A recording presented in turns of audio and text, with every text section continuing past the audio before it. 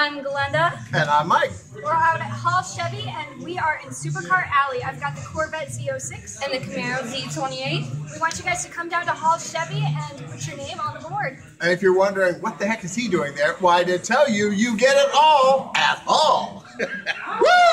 Great. Hey, we're Hall Chevrolet. People save the money, having some fun.